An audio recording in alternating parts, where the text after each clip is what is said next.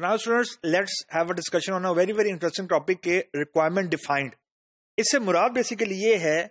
कि I just want to break the ice के जो रिक्वायरमेंट इंजीनियरिंग है,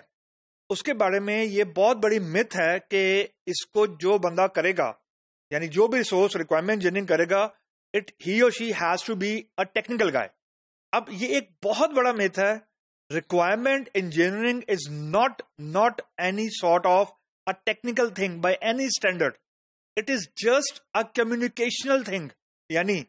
इसका प्री आपकी कम्युनिकेशन स्किल है, सिर्फ़ इसके अंदर अगर आपके पास टेक्निकल स्किल है this is an added advantage यानी ये प्री रिक्विजिट नहीं है यानी जब आपने रिक्वायरमेंट इंजीनियरिंग का प्रोसेस करना है, या या रिक्वायरमेंट इंजीनियरिंग एक्चुअली करनी है तो जो स्किल सेट आपके पास होना चाहिए, वो आपकी टेक्निकल डिग्री से ज़्यादा the the way how good you can communicate यानी आप क्लाइंट से कम्युनिकेट कितना जल्दी कर सकते हैं, कितना अच्छा कर सकते हैं and the most important thing कि आपकी एनालिसिस की कैपेबिलिटी कितनी को अच्छी है। अब ये जितनी बातें मैं आपको बता रहा हूँ, ये ये सारी की सारी जो ये जो एट्रीब्यूट्स हैं, अगर किसी प्रोजेक्ट मैनेजर के अंदर है, अगर किसी बिज़नेस एनालिस्ट के अंदर है तो यहाँ तक तो बात ठीक है, लेकिन जो मिथ है वो ये है कि जो कंपनीज़ हैं, वो अमूमन ये एट्रीब्यूट्स टेक्निकल टीम लीड के अंदर ढूँढने की कोशिश करते हैं just mere due to save the budget और कुछ नहीं, के बजाय के बिज़नेस एनालिसिस के लिए एक बंदा डेडिकेटेड हायर करें they try to mix up the attributes यानी जो टेक्निकल टीम लीड है, उससे ये एक्सपेक्टेशन सेट कर लेते हैं एट टाइम कि जी, वो एनालिसिस भी करेगा, वो रिक्वायरमेंट गैदरिंग भी करेगा, वो कम्युनिकेशन स्किल उसकी बहुत अच्छी होगी एंड सो ऑन लेकिन this is at time not the case reason जो टेक्निकल लोग होते हैं, उनका परस्पेक्टिव टेक्नोलॉजी साइड से तो बहुत अच्छा होगा। सो फार यानी उस पर कोई बंदा चैलेंज नहीं कर सकता, लेकिन जो क्लाइंट हैंडलिंग है और जो क्लाइंट के परस्पेक्टिव को गैदर करना है that is a different thing उसका टेक्नोलॉजी से इतना ज़्यादा ताल्लुक नहीं है जितना कम्युनिकेशन से है रीजन एट टाइम ये होता है कि क्लाइंट एक बंदा नहीं होता. There is a group of clients यानी तीन चार लोग हैं, वो पार्टनर हैं फॉर एग्ज़ाम्पल और वो एक प्रोजेक्ट बनवाना चाह रहे हैं। अब उनके लिए टेक्नोलॉजी की डिस्कशन इरेलीवेंट एक्चुअली अमूमन एट टाइम जो क्लाइंट होता है वो नॉन टेक होता है। वो, वो टेक्निकल बंदा नहीं होता। तो अगर आप उससे टेक्निकल बातें करेंगे भी तो वो एक्चुअली फायर बैक करेंगी। रीजन इग्नोरेंस इज़ ब्लेसिंग अगर एक चीज़ का मुझे नहीं पता ना तो आई एम हैप्पी जितनी ज़्यादा चीज़ें आप क्लाइंट को टेक्निकली बताएँगे the more there will be more curiosity और there will be more questions ये बिल्कुल ऐसे ही बात है कि अगर मैं एक ऐसी डोमेन पे बात करना शुरू कर दूँ, जो मेरी नहीं है तो I will be I will be more curious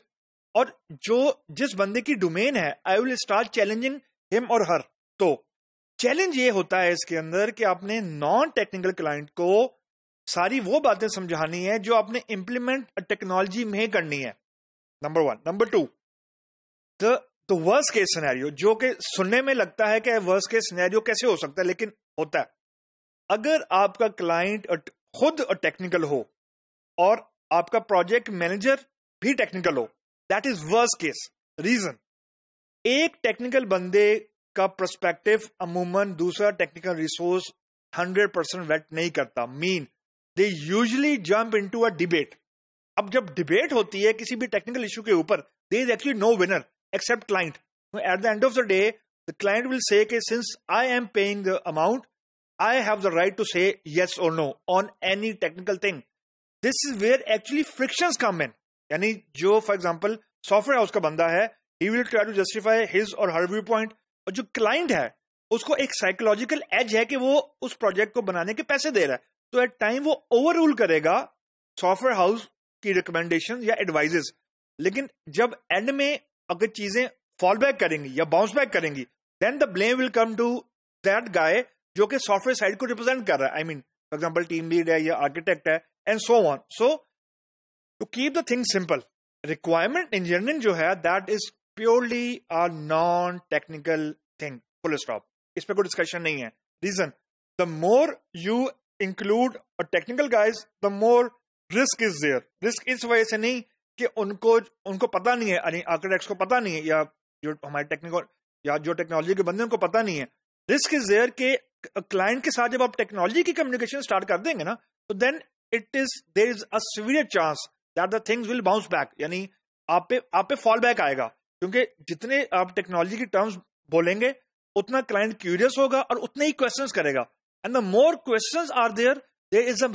more chance you will end up in a, some sort of deadlock.